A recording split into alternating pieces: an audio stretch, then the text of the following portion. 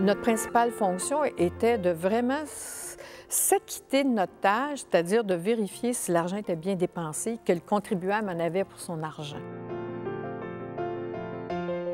Avec le vérificateur, on faisait venir certains organismes gouvernementaux, paragouvernementaux, et on les questionnait sur leur gestion. Donc, on questionnait toujours ces organismes-là sur leur gestion.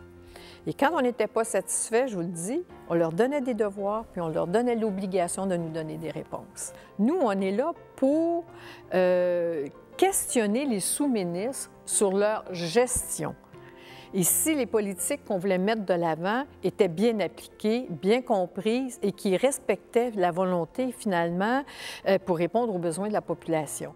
Souvent, des fois, il y en a qui voulaient faire un petit peu de partisanerie. Là, ils arrivaient à faire un petit pitch, puis on disait non, ça ne marche pas ici. C'est une commission où ça ne fonctionne pas comme ça. On essaie d'être le moins partisan possible.